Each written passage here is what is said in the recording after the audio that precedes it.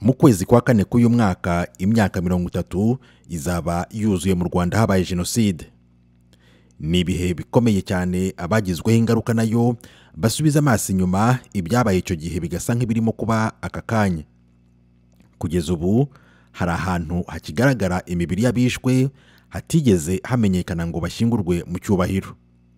Aha ni ingoma ahasigaye ari mu karere ka huye mu ntara y'amajyepfo. Iyi videwo yakozwe n'ibiro ntaramakuru by'abafaransa afp yerekana ahantu bigaragara ko hari hubatse inzu cyangwa amazu abantu benshi bari gushakisha imibiri y'abishwe. Barakoresha amasuka n'ibitiyo. Imibiri y'abantu mirongo inani na barindwi niyo yabonetse mu gihe cy'iminsi itatu yashize bashakisha.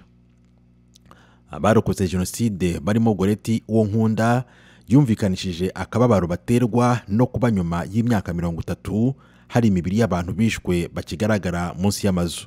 Bari baje kubaka korotire ba nyir'ubwitaha baje kubaka ku nzu yabo korotire bakubita ipiki umuntu akagaragara. Bakubita isuka umuntu akagaragara. Ni uku kuntu twabimenye nta muntu n'umwe ushaka gutanga amakuru. Mu by'ukuri twagerageje gusa kuganiriza abantu tubabwira tuti twebwe ibyabaye byarabaye.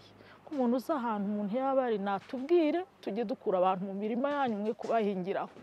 Ariko birababaje.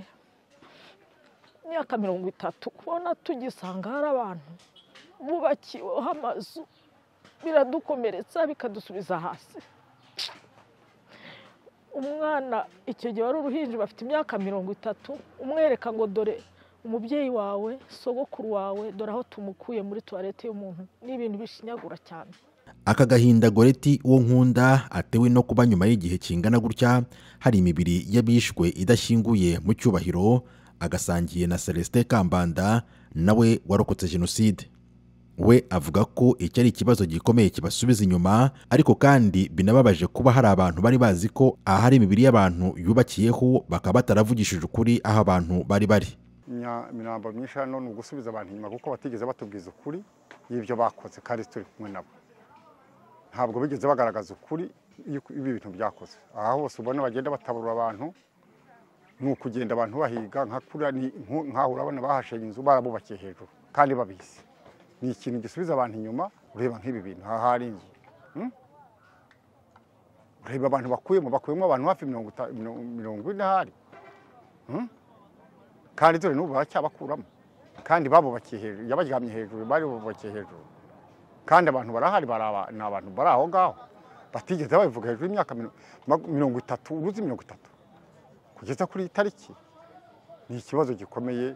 Umuyobozi wungirije w'akarere ka huye andre kamana yavuze ko amakuru y'uko aha hari imibiri y'abantu batashyinguwe mu cyubahiro bayahawe n'umukozi wo mu rugo rw'aha iyi mibiri yabonetse. On a trouvé au premier coup 39 corps et pour le moment on a encore ku ikubitiro habonetse imibiri mirongo itatu n'icyenda. Kuva icyo gihe twabonye andi makuru ari na yo mpamvu twakomeje gushaka indi mibiri y'abantu bari munsi y'inzu n'umusarani. Twayahawe n'umukozi wo muri urwo rugo.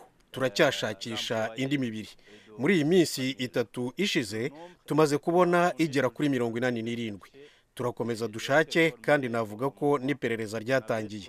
Ni ibintu bibabaje cyane kubona nta muntu wigeze atanga amakuru ku mibiri y'abantu barenga mirongo inani kandi igihugu gihora gishishikariza abantu gutanga amakuru. Abatuye muri uru rugo ntabwo bagaragara muri iyi videwo mu byo umuyobozi w'akarere wungirije andre kamana yavuze yongeyeho ko ibi ari ibintu bidakwiye kwemerwa kubona abantu bari munsi y'amazu abantu bakubaka ayo mazu babizi neza ko munsi hari abantu.